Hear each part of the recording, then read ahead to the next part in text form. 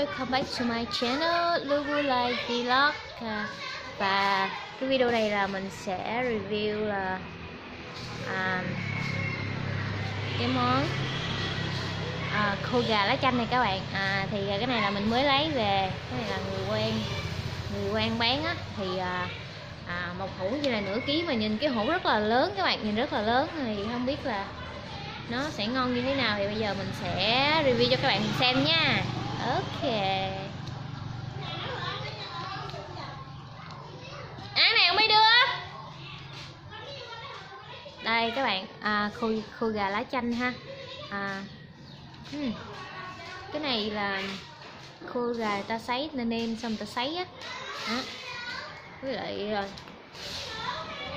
lá chanh ha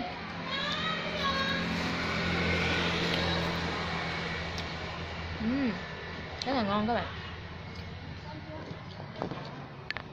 Rất là ngon ha.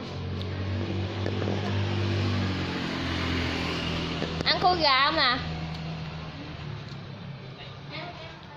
nè. Ủa vậy nhà có gì ăn không? Không mua. không. Ê, rồi đợi lúc qua liền đã hết trước rồi ông quên. Ở bà Ừ. sáu bình gì đó uhm, tưởng là ít ai nhiều. Cái này nửa ký thôi Ở đây hết nước rồi, chicken the chicken rice Mmm. Chicken, um, lemon leaf, and uh, chili. This snack uh, you can mix with uh, green or beer, so very delicious. Good. Mm. Cái hũ này là 160 các bạn 160 Ừm, Rất là ngon ha Mm.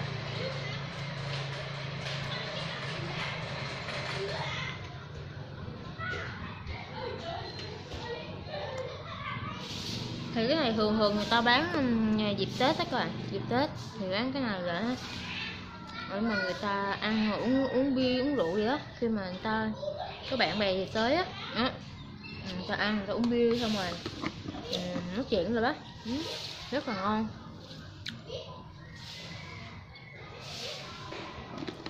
Thêm à, luôn mới đi làm về ha, xong rồi tắm rửa, xong rồi nhìn sạch sẽ rồi đó. Không rồi lấy cái này ra ăn review cho các bạn cùng xem. Thì à, tại vì đi làm rất là bụi các bạn. Ngồi mà bụi nó bay trong mặt á. Lấy cái giấy chùi mà ha là nó đen thui luôn. Ừ. cho nên về một phát là phải tắm rửa rửa ngay lập tức luôn. Rồi nghỉ ngơi một xíu. Rồi bắt đầu mới à, ăn uống gì đó nhưng mà mình hôm nay mình sẽ review cho các bạn cái món này trước. Ừm, rất là ngon các bạn ơi.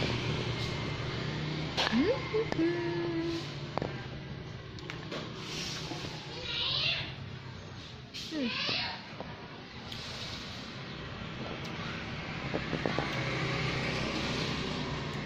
Thì nói chung là cái này nó sẽ có vị mặn.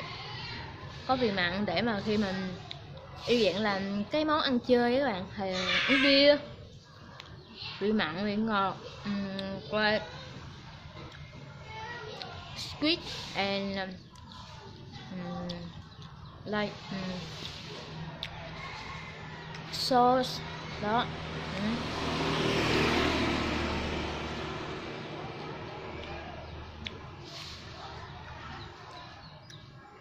Um, giao rất nhanh các bạn mới bán ngày hôm qua hay mà bữa nay tới. Uhm. ok rất là ngon. Ok và chào tạm biệt các bạn nha và hẹn gặp lại các bạn trong những cái video tiếp theo. See you later and um, I will make another video to you. Okay see you later and remember um, um, subscribe my uh, YouTube channel. Okay.